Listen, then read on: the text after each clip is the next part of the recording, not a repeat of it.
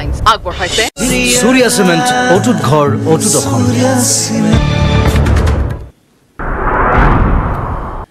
ৰাজ্যত তিনিটাকৈ ভূমিকম্পৰ জোকাৰণি প্ৰান্তে প্ৰান্তে ব্যাপক ক্ষয় ক্ষতি নগাঁৱত হেলনীয়া হৈ পৰিল বৃহৎ অট্টালিকা ভৈৰৱকুণ্ড পাহাৰৰ বৃহৎ অংশ খহি পৰিল সাত বাজি একাৱন্ন মিনিটত অনুভূত হয় ছয় দশমিক সাত প্ৰাবল্যৰ তীব্ৰ ভূমিকম্পৰ জোকাৰণি ভূমিকম্পত গুৱাহাটী মহানগৰীত বিস্তৰ ক্ষতি। মহানগৰীৰ কেইবা ঠাইতো বহু অট্টালিকাত বৃহৎ বৃহৎ ফাট হেতাপাৰা দেৱাল খহি আহত এজন।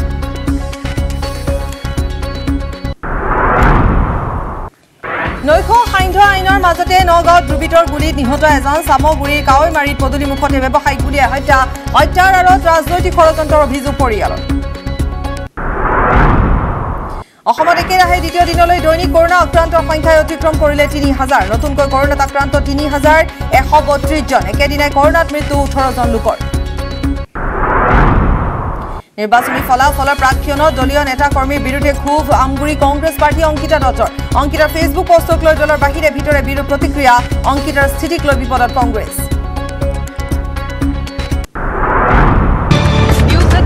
আগবঢ়ালে। সূর্যা সিমেন্ট অটুট ঘর অটুট অসম।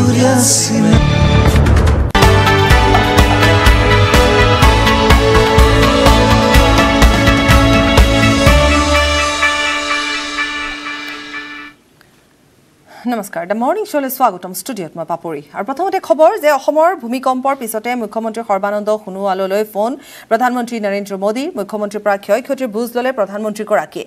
অসমলৈ সকলো ধৰণৰ সহায় সহযোগিতাৰ আশ্বাস প্ৰদান কৰিছে প্ৰধানমন্ত্ৰীয়ে আৰু প্ৰধানমন্ত্ৰীক ধন্যবাদ জ্ঞাপন কৰিছে মুখ্যমন্ত্ৰী সৰ্বানন্দ সোণোৱালে।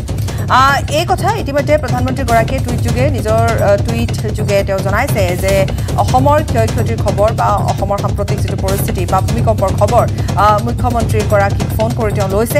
আৰু আনহাতে মুখ্যমন্ত্ৰীগৰাকীয়েও এটা টুইট দিছে যে মাননীয় প্ৰধানমন্ত্ৰী শ্ৰী নৰেন্দ্ৰ মোদী ডাঙৰীয়াই এইমাত্ৰ ফোনযোগে খবৰ ল'লে বৃহৎ ভূমিকম্পৰ ফলত যদি কিবা ক্ষয় ক্ষতি হয় তেতিয়াহ'লে সেই ক্ষেত্ৰত সহায় সহযোগিতা আগবঢ়াব বুলিও ইতিমধ্যে আশ্বাস প্ৰদান কৰিছে প্ৰধানমন্ত্ৰীগৰাকীয়ে। তাকে লৈ মুখ্যমন্ত্ৰীগৰাকীয়ে ধন্যবাদ জ্ঞাপন কৰিছে।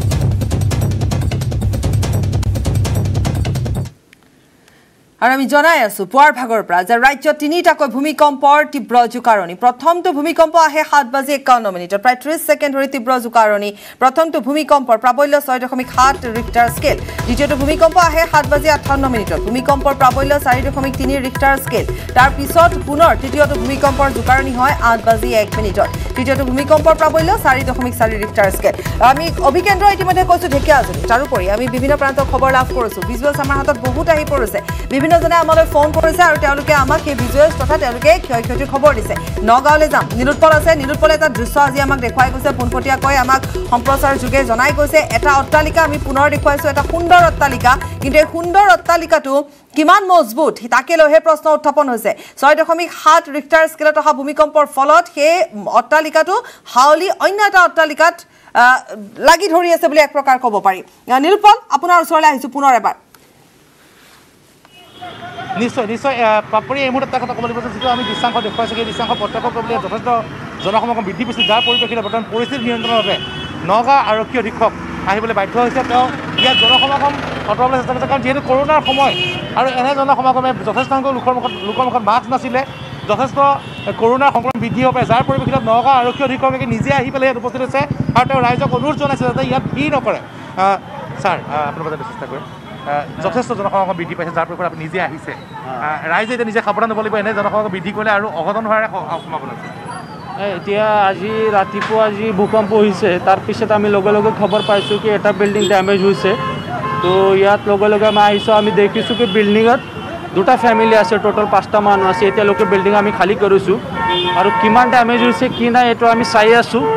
আৰু আমাৰ প্ৰায়ৰিটি আছে কি there should not be any damage to life এনেকুৱা আমি প্ৰয়োজন কৰি আছোঁ আৰু বাকী অন্য জেগাত কিমান ডেমেজ হৈছে কি নাই আমি চাই আছোঁ नहीं जो जितना भीड़ जमा हुआ है उससे जो कोरोना का टाइम है तो अ, নাই নাই এতিয়ালৈকে আমি খালী কৰি আছোঁ হা এতিয়ালৈকে যিখিনি মানুহ জমা হৈছে আমি খালী কৰি আছোঁ কিন্তু আমাৰ প্ৰথম প্ৰায়ৰিটি আছে saving the life due to earthquake এইটো আমি এতিয়ালৈকে কৰি আছোঁ ডিজাস্টাৰ মেনেজমেণ্টৰ মানুহ আহিছেনে আহ, মানুহ আহি আছে আহি আছে ডিজাষ্টাৰ মেনেজমেণ্টৰ মানুহ আহি আছে হা নিশ্চয় পা- পাপৰি এই মুহূৰ্তত আমাক নগাঁও আৰক্ষী অধীক্ষকে জনালে যে দুটা ফেমিলি আছিলে ইয়াত পাঁচজন পাঁচগৰাকী ব্যক্তি আছিলে তেওঁলোকক ইতিমধ্যে বিল্ডিঙৰ পৰা উলিয়াই পঠিওৱা হৈছে আৰু আমি দেখুৱাইছোঁ বৰ্তমান দেখ- এতিয়াও দেখুৱাইছোঁ যথেষ্ট জনসমাগম আছে।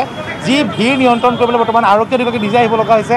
আৰু যদি পুনৰ আমি দেখুৱাব পাৰিব বিচাৰোঁ আপুনি দেখুৱাই থাকক আৰু আপুনিও সাৱধানে থাকক কাৰণ জনসমাগম বৃদ্ধি পাইছে কভিডৰ কথাও আছে নিৰুৎপল অকণমান সাৱধানে থাকি আমি আপুনি আমাক ভিজুৱেলছ দেখুৱাওক লাইনত থাকক। হীৰক আছে হীৰকৰ পৰা এই মুহূৰ্তত গুৱাহাটী মহানগৰীৰ খবৰ লাভ কৰিম। হীৰক ক'ত আছে?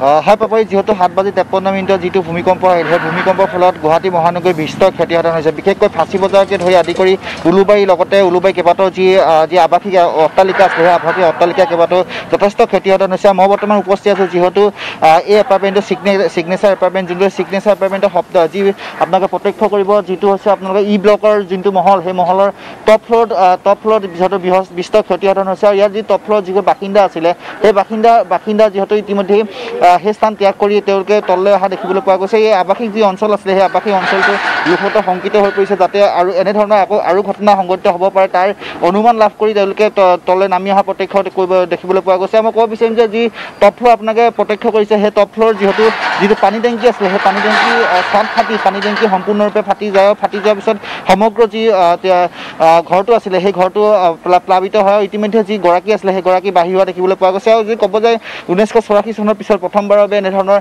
ভূমিকম্প ঘটনা সংঘটিত হৈছে। ৰাজ্যত যিহেতু ছয় দশমিক সাত প্ৰাবল্য যি ভূমিকম্প সেই ভূমিকম্পৰ ফলত সকলো ইতিমধ্যে কম্পিত বা আতংকময় পৰিৱেশৰ বিৰাজ কৰিছে। আৰু ইয়াৰ আপোনালোকে প্ৰত্যক্ষ কৰিছে যিহেতু যি আৱাসিক অঞ্চলৰ যিসকল লোক আছে সেই লোকসকল ইতিমধ্যে বাহিৰত অহা ভূমিকম্পটো হোৱাৰ পিছতেই সকলোৱে সেই ঘৰ ত্যাগ কৰি বাহিৰলৈ অহা পথে অহা দেখিবলৈ পোৱা গৈছে। আৰু যিটো অট্টালিকাৰ কথা কৈছোঁ মই সেই অট্টালিকাটো যিসকল যি গৰাকী আছিলে সেই গৰাকী থকা তিনিটাকৈ ঘৰ আছিলে। সেই তিনিটাকৈ ঘৰত সম্পূৰ্ণৰূপে প্লাবিত হৈছে। যি যি বস্তু আছিলে সেই বস্তু সম্পূৰ্ণৰূপে সম্পূৰ্ণৰূপে যিহেতু কিছু ক্ষতি ক্ষতি ক্ষতি হৈছে বুলি জানিব পৰা গৈছে আৰু এই ভূমিকম্পৰ ফলত কেৱল এই অঞ্চলেই নহয় উলুবাৰী অঞ্চলে নহয় মই ক'ম ফাঁচী বজাৰকে ধৰি জি এছ ৰোডৰ পৰা প্ৰায়ভাগ অঞ্চল সমগ্ৰভাৱে বিস্তৰ ক্ষতিসাধন হৈছে আৰু আৰু জানিব পৰা অনুসৰি যিহেতু এই লালমাটিৰ পৰা লালমাটি অঞ্চলত যথেষ্ট ক্ষতিসাধন হৈছে। লগতে ভেটাপাৰা অঞ্চলত এজন লোক চাট খহি ইতিমধ্যে আই চি ইউত ভৰ্তি হ'বলগীয়া আছে দিছপুৰ হস্পিটেলত আই চি ইউত। আৰু এই যি উলুবাৰী অঞ্চলত আপোনাৰ চিগনেচাৰ এপাৰ্টমেণ্টটো দেখিছে সেই চিগনেচাৰ এপাৰ্টমেণ্টটো প্ৰত্যক্ষ কৰিব যে সকলো যি ইয়াত কেইবাটাও আহ, অট্টালিকা আছে সেই অট্টালিকাত যিসকল গৰাকী আছিলে সেই গৰাকীসকল ইতিমধ্যে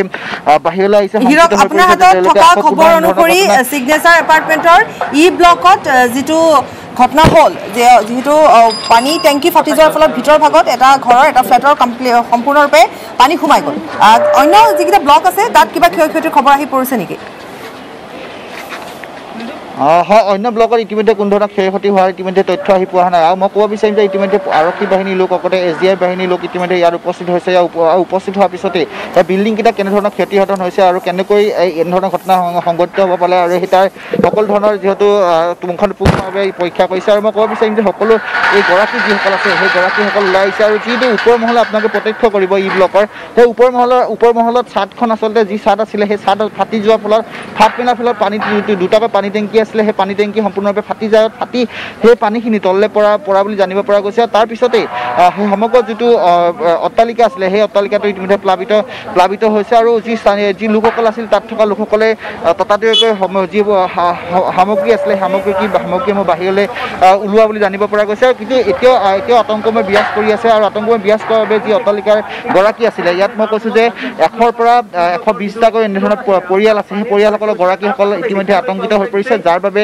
তেওঁলোকে বাহিৰলৈ ওলাই আহিছে। আচলতে যি চাব যায় যি সাত বাজি তেপন্ন মিনিটৰ যিটো ভূমিকম্প আহিছিলে সেই ভূমিকম্প হয়তো বিছ বছৰ পূৰ্বে এনেধৰণৰ ভূমিকম্প হৈছিল। কিন্তু বিছ বছৰ পূৰ্বে অহা এই ভূমিকম্প প্ৰাবল্য প্ৰাবল্য কিন্তু এই ছিক্স পইণ্ট ছেভেনতকৈ যথেষ্ট কম আছিলে। সেই সেই তেনে ক্ষেত্ৰত কিন্তু এনেধৰণৰ আজি যেনেধৰণৰ ক্ষতিসাধন হৈছে সেই তেনেধৰণৰ কোনো ধৰণৰ ক্ষতিসাধন হোৱা নাই। আৰু ইতিমধ্যে আপোনালোকে প্ৰত্যক্ষ কৰিছে যে গৰাকীসকল যিসকল আছে ফ্লেটৰ গৰাকীসমূহ ওলাই আহিছে যাতে শংকিত হৈ পৰিছে যাতে এনেধৰণৰ ভূমিকম্প পুনৰ আহিব পাৰে বুলি শংকিত হৈ পৰিছে তাৰ বাবে সকলো ওলাই আহিছে আৰু মই ক'ব বিচাৰিম যে যি অট্টালিকা যিসমূহ গৰাকী আছে এশৰ পৰা এশ বিছ ঘৰ যিগৰাকী আছে সেই গৰাকীসমূহৰ কিছু লোকৰ যিহেতু সামগ্ৰীসমূহ ক্ষতি ক্ষতিগ্ৰস্ত হৈছে বুলি জানিব পৰা গৈছে। কিন্তু ই ব্লকত বিশেষকৈ প্ৰভাৱ পৰিছে। ই ব্লকৰ যিটো টপ টপ ফ্ল'ৰত যি- যিসকল বাসিন্দা আছিলে সেই টপ ফ্ল'ৰ বাসিন্দাসকলৰ যথেষ্ট ক্ষতিসাধন হৈছে আৰু তেওঁলোকৰ এই পানী টেংকি সেই পানী টেংকিৰ লগতে এ চি ফাটি যোৱা বুলি জানিব পৰা জানিব পৰা গৈছে। আৰু ইতিমধ্যে এই স্থানৰ পৰা এই এই মুহূৰ্তলৈকে গৰা ফ্লেটৰ কোনো গৰাকীক বাহিৰলৈ ওলাবলৈ হোৱা দিয়া হোৱা নাই। আৰু লগতে গুৱাহাটী এই অঞ্চলৰ লগতে অন্যান্য যি অঞ্চল আছে সেই অঞ্চলটো